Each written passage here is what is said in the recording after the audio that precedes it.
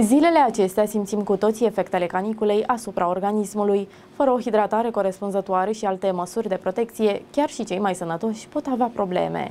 Conform Digi24, organismul percepe temperaturile ridicate ca pe un important factor de stres, ceea ce duce la declanșarea unor mecanisme specifice compensatoare. Pentru termoreglare crește activitatea glandelor sudoripare. Prin transpirație însă organismul pierde importante cantități de apă și de săruri minerale, cu efecte importante asupra sănătății. În continuare, prelungirea expunerii la soare și la căldură poate produce epuizare termică termică, hipertermie și insolație. Sunt numeroase situațiile în care este necesară accesarea sistemului medical de urgență. Prezentarea la compartimentul de primiri urgențe este indicată atunci când temperatura corporală măsurată central este crescută, apare un ritm cardiac accelerat, cresc frecvența respiratorie și tensiunea arterială. Pot fi prezente și simptome ca oboseala accentuată, greața, vărsăturile, amețelile, relatează Digi 24